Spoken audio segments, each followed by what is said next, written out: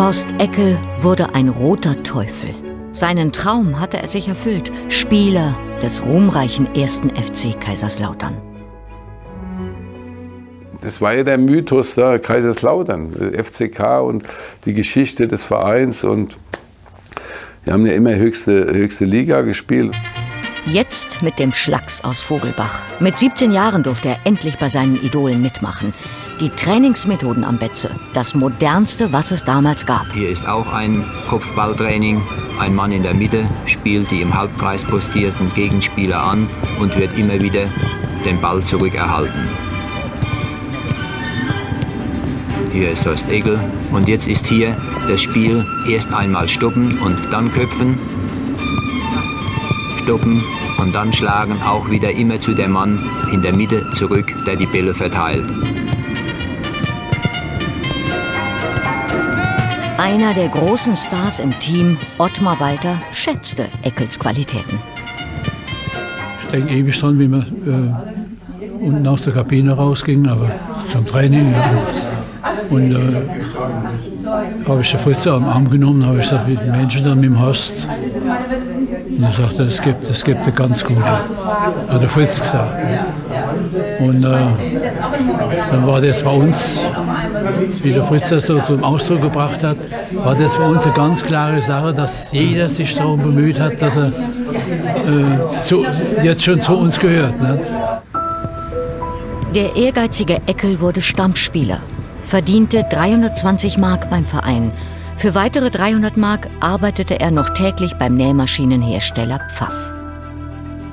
Man war froh, dass man eine Stelle bekommen hat, dass man lernen konnten. Und das war für mich auch wichtig. Nebenbei, neben meinem Fußball war das mit der wichtigste Punkt. Acht Stunden lang hart schuften vor dem Fußballtraining. Das gehörte zum Alltag für Horst Eckel. Das war etwas, was unglaublich war. Aber man kannte es nicht anders. Und die waren genauso wie wir hinterher in der Generation, dass die gesagt haben, wunderbar, wir lieben den Fußball, wir spielen gerne Fußball und würden auch Fußball spielen, äh, auch wenn wir kein Geld kriegen. Das ist wunderbar, dass wir unser Hobby zum Beruf machen können. Weil Horst Eckel hat ein Leben lang für Kaiserslautern gespielt und heute wäre das unmöglich. 214 Mal trug er mit Stolz das rote Trikot. Er hat ihn immer den, den, den Läufer genannt. ja, der Fritz Walter, den Horst Eckel, äh, den Läufer und ich glaube sogar die, die Lunge, weil er wirklich äh, lange und, und schnell laufen konnte. Manches Mal äh, hatte Sepp Herberger das nicht so gut gefallen. Da hat er etwas zu lange den Ball gehalten.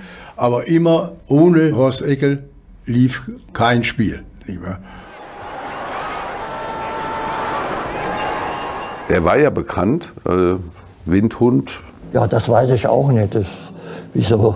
Das heißt ja, er war nicht langsam. Ich bin vielleicht mehr gelaufen, ich war vielleicht ein bisschen schneller wie jeder andere. Und dadurch äh, ist das wahrscheinlich aufgekommen. Er hat äh, auch äh, gewusst zu antizipieren und äh, genau gewusst, wann er im richtigen Augenblick äh, die Räume auch zumachen muss. Kirk klärt mit dem Kopf und den Abpraller nimmt Eckel auf und schießt mit kraftvollem Antritt aus 16 Metern Entfernung. 1 zu 0 für den ersten FC Kaiserslautern. Geführt und dennoch verloren. Wer hat das 1 zu 0 geschossen? Das weiß ich nicht mehr. Horst Eckel. Ich? Oh, das weiß ich nicht. Und trotzdem verloren. Das kann doch gar nicht sein. Gibt's doch gar nicht. Bis zum letzten Platz war das Berliner Olympiastadion gefüllt. Jeder wollte das Endspiel zwischen dem ersten FC Kaiserslautern, dunkler Dress, und Preußen Münster miterleben. Und in der 72. Minute erzwingen die Brüder Walter das entscheidende Tor. 2 zu 1 für Kaiserslautern. Das Stadion umjubelt den neuen deutschen Fußballmeister. Zwei deutsche Meistertitel gewann Horst Eckel mit dem FCK 1951 und 1953. Eckel war mächtig stolz über diese Erfolge. Seine Brust wurde breiter und breiter, so breit, dass es schon auffiel.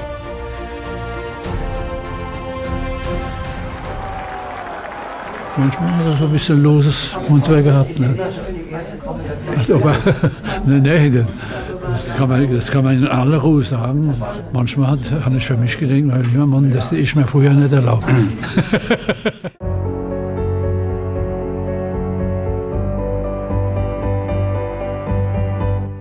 Wenn man sich mit Horst unterhalten hat, merkte man auch, was das für eine besondere Beziehung war. Zu, er war ja der jüngste Spieler, der Horst Eckel, und äh, Fritz war innerhalb des Teams quasi so eine Art Vaterfigur für ihn, an dem er sich orientiert hat. Und äh, da merkte man halt schon stark den Einfluss von Fritz auf Horst Eckel. Ich bin ganz pünktlich. 17.30 Uhr hat es gelesen. Ich bin ganz 17.45 Uhr. Und jetzt ist 18 Uhr so so viel. Da hinten ist der Sauhund. Eigentlich ja. Da ist der Skiboard. Ja. Hoffentlich läuft der Ton doch nicht mit. Komm grad. Der junge Eckel lernte sein großes Idol, Kaiserslauterns berühmtesten Sohn Fritz Walter, kennen.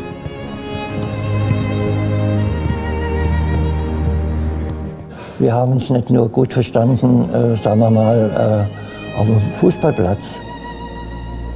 Er hat für mich gespielt, ich habe für ihn gespielt. Aber äh, so persönlich, da ist was ganz anderes gewachsen zwischen ihm und mir. Ich war weitaus der Jüngste. Er war so Vater-Sohn-Verhältnis für mich. Und ich bin stolz und bin froh, dass das so passiert ist. Der Kapitän der Berner Wunderelf besaß für den Benjamin Eckel eine Strahlkraft wie sonst keiner.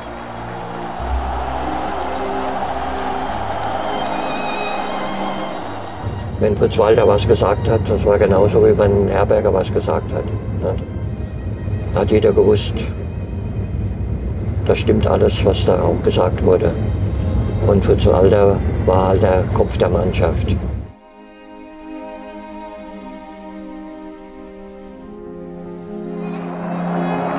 Fritz Walter wurde schon zu Lebzeiten zur Legende.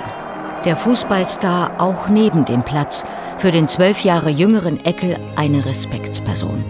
Wer es wagte, sich frühzeitig vom Mannschaftstraining zu entfernen, bekam Probleme. Wir haben noch die Stühle äh, ein bisschen stehen gelassen. Dann hat er uns auch noch aufgeklärt, dass wir dort wieder die Stühle hinstellen sollen, wo sie auch gestanden haben. Das war so die erste Lehrstunde, die ich mit Fritz Walter gehabt habe. Und das war eine gute Lehrstunde. Ich stelle heute noch meinen Stuhl dorthin, wo er gestanden hat. Das Verhältnis von Fritz Walter war dann so, dass wir gute Freunde geworden sind. Aber später hinaus, Jahre hinaus, dann war es noch mehr wie eine gute Freundschaft.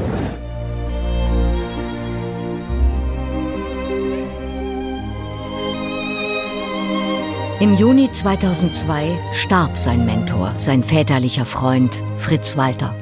Es war eine ganz schlimme äh, Sache, wie er gestorben ist. Wie ich das gehört habe, ich habe acht Tage, habe ich konnte gar nicht mehr mit, groß mit jemandem sprechen. Es war schon sehr schwer für mich.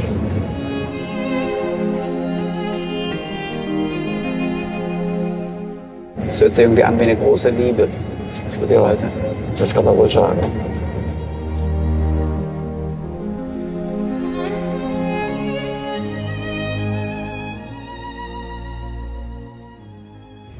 Bahnhof Köln.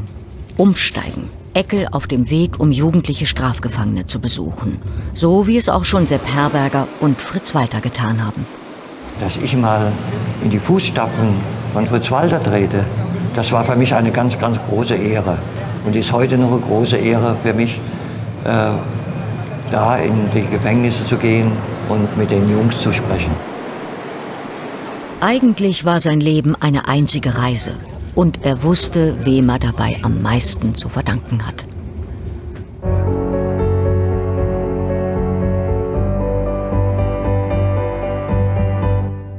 Alles das, was man eigentlich den Jugendlichen sagen sollte, das hat Horst vorgelebt.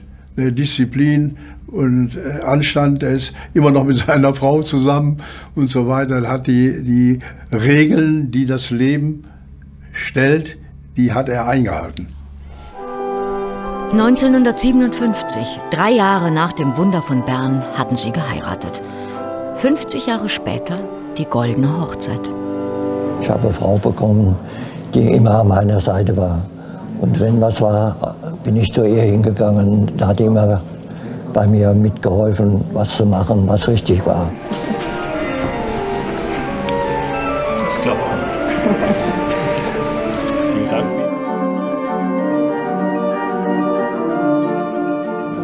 Eine bessere Frau, wie ich gehabt habe, das glaube ich, gibt es heute gar nicht mehr. Das ist ja eine schöne Liebeserklärung, gell?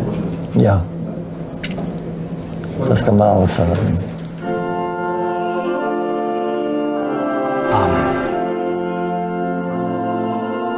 Hannelore.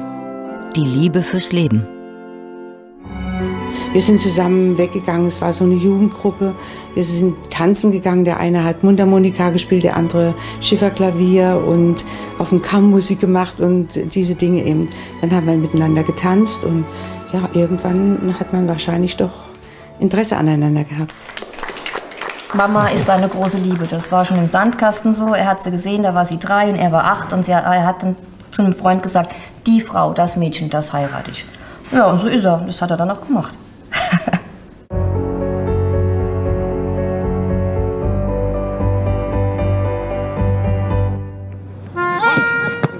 1960 verließ Horst Eckel den FCK. Der Weltmeister ließ seine Karriere bei Völklingen im Saarland ausklingen. Sein sportlicher Alltag in der Regionalliga war trist. Das Wunder von Bern weit weg. Aber auch abseits des Strafraums musste Eckel noch einige Hürden überwinden. Er schulte um, wurde Lehrer für Sport und Werken, fuhr täglich an die Realschule nach Kusel. Seine Ehefrau dagegen hielt ihrem Mann den Rücken frei. Sie zog zwei Mädchen groß. Eckels besaßen nicht viel, aber es reichte zum Leben. Fertig machen zur Aufteilung der einzelnen Gruppen. Ich bin ja an der Schule und da ist es also sehr interessant, dass Schüler zu mir kommen und genau wissen, wer zu dieser Zeit gespielt hat, wer Fritz Walter, wer Ottmar Walter, wer Liebrich war. Und wenn ich dann mal wirklich nachfrage, wer hat 74 denn im Endspiel gespielt, ganz wenige wissen, wer 74 beim Endspiel war. Und ich kann mir das also nur so erklären, dass die Eltern, der Vater oder der Onkel diesen Kindern immer wieder erzählt von der Weltmeisterschaft 54 und ganz wenig von der Weltmeisterschaft 74. Die Mannschaft 1 geht hier neben das Tor die Mannschaft 2 hier drüben neben das Tor. Bitte Aufstellung nehmen. Eckel war ein strenger Lehrer. Ja, da komme ich in der rein, da sitzen drei, vier mit der Mütze auf. Habe ich gesagt, wie? Sofort die Mütze weg. Sofort die Mütze weg. Bei mir gibt es das nicht, dass hier einer im Unterricht die Mütze auf hat. Zehn Jahre nach dem WM-Titel von Bern musste Eckel hart arbeiten. Anfang der 70er zog er mit seiner Familie in den Hunsrück, probierte es als Hotelier. Ein kleines, aber schmuckes Hotel in Moorbach unweit der Hunsrück-Höhenstraße feierte Eröffnung. Und 8000 Menschen kamen, denn der Pächter ist nicht irgendwer. Sein Name Horst Eckel. 38 Jahre alt, 32 Mal in der Nationalelf und Mitglied der Weltmeisterschaftsmannschaft von Bern. Der frisch gebackene Hotelier wusste, was er seinen Mitbürgern schuldig war. À la carte zur Premiere offerierte er Fußballkost à la WM 54. Fünf Berner waren dabei, nebst Kapitän Fritz Walter und Sepp Herberger, die die Honneurs besorgten. Und dann kamen die Altinternationalen in einen wahren Spielrausch. Eckel zu Rahn, Rahn schießt 6 zu 0. Das dritte Tor des Boss, der das Tore schießen weiß Gott noch nicht verlernt hat. Und jetzt Horst Eckel, Trotzdem ist dieses 7 zu 1 ein gutes Anfangskapital für Horst Eckel. Möge es sich in seinem neuen Beruf gebührend verzinsen. Für die Fußballfans blieb er ein strahlender Held. Privat aber ging es um die blanke Existenz. Es war eine sehr schwierige Zeit, ja. Ich habe dort meinen Sportlehrer gemacht dann habe ich ja nichts verdient in der Zeit. Da hat meine Frau dann ein Sporthotel geführt. Tag und Nacht hat sie gearbeitet. Und äh, ich äh, habe dann äh, drei Vereine trainiert in einer Woche immer und habe samstags selbst noch Fußball gespielt. Ich war dann nur unterwegs auch dass wir da über die Runde gekommen sind.